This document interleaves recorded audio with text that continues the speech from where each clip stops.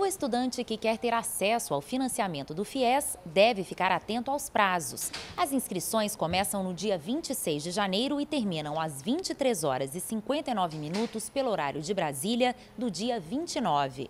Podem concorrer às vagas estudantes com renda familiar de até dois salários mínimos e meio que tenham participado do Enem a partir da edição de 2010, tirado no mínimo 450 pontos na prova, sem ter zerado a redação.